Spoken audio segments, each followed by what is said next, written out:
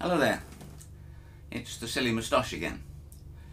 Uh, a little while ago I stumbled on a YouTube video by a gentleman called uh, Samuel Clements whose YouTube channel is called Guitar, Guitars, Guitars, Guitars and he was doing a comparison of two Collings guitars one a 14 fret with mahogany back and sides and Adirondack top and the other one was a DS2H 12 fret dreadnought with Sitka and Rosewood and I thought it was a very well done comparison. Back in 2013 I did a similar comparison between two of my uh, Collings guitars, uh, both 12 fret dreadnoughts, both Sitka topped, but one a DS1 with mahogany back and sides and the other with rosewood back and side, uh, East India rosewood back and sides. So I looked back on my old comparison video and frankly I wasn't very impressed. So I thought I'd have another go. And I'm going to steal um, Samuel's um, methodology which I thought was very well thought out. Uh, so I'm going to play just some first position chords on each one and then I'm going to do a little bit of flat picking, then a little bit of finger picking and then a little bit of um, comping type styles with bar chords and things. Uh, just to give you the best idea of how these might sound.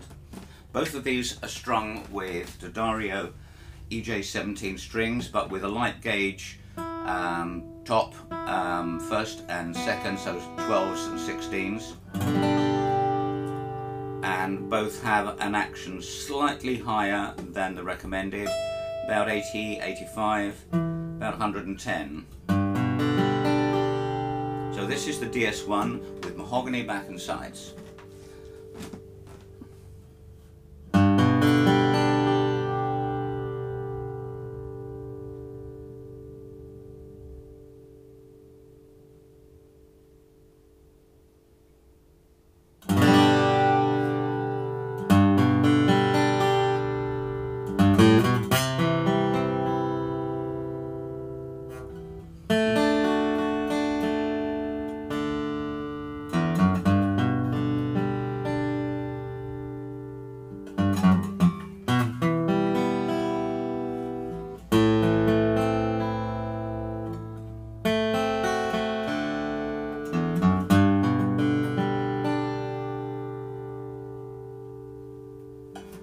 The DS1.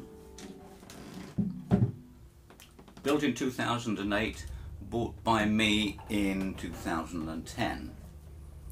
Since then it's been used quite ex um, uh, extensively uh, in bluegrass bands to the point where I had to have it refretted in 2016 I think. DS2H built in 2007, I bought it in 2011. Um, hardly played at all. Neither of them were hardly played at all when I first got them. Uh, this had not been well maintained by the previous owner and needed considerable amount of setup work.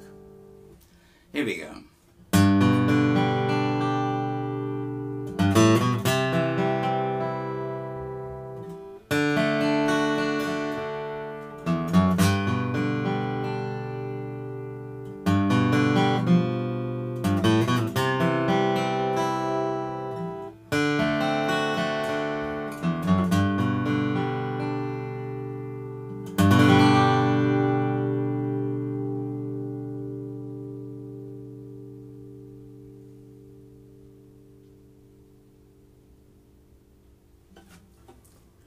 Incidentally, because I've lost so much weight, they're not touching my belly when I'm playing them, so the back is responding.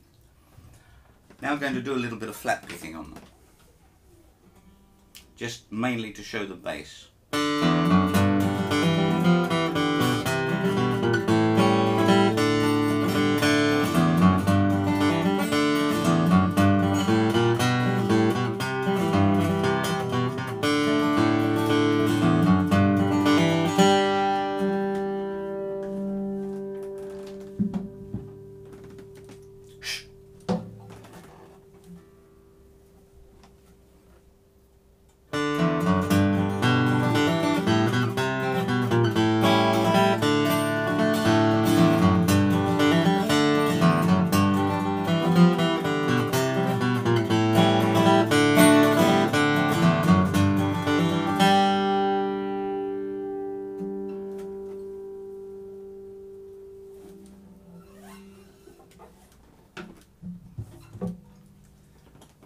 Bit of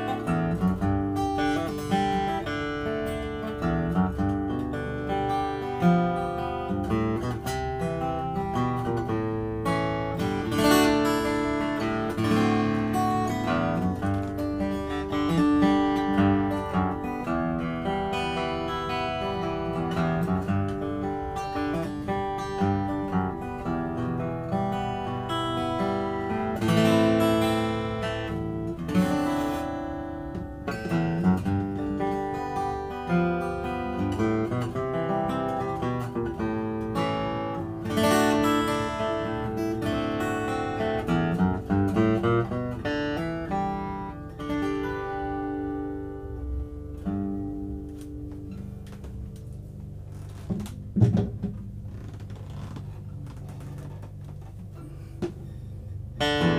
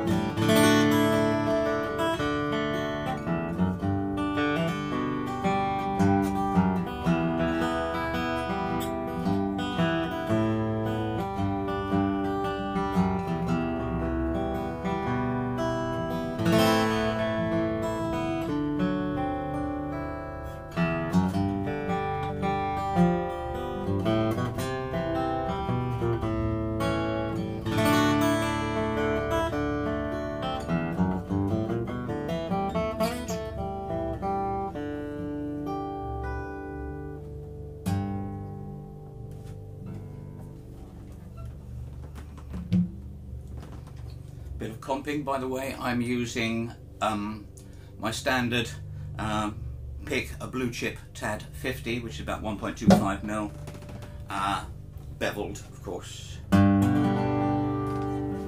a little bit of um, bar chord rhythm.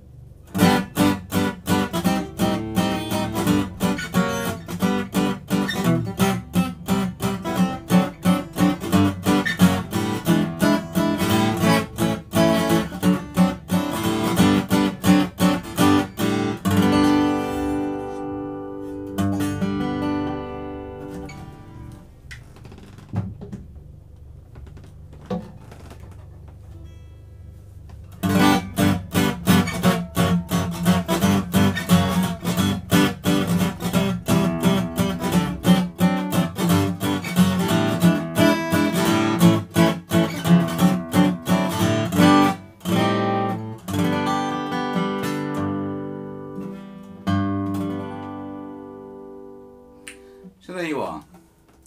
Um, if we try to forget my uh, amateurish playing, uh, those essentially are the sounds of two guitars, both in the region of uh, 10 years old, both um, pretty much played in. Uh, I think Sitka uh, should be expected to be um, played, considered played in by about uh, 10 years old. Whilst the DS1 has a darker um, Sitka top, it is just Sitka. I'm sure Collings would say if it wasn't.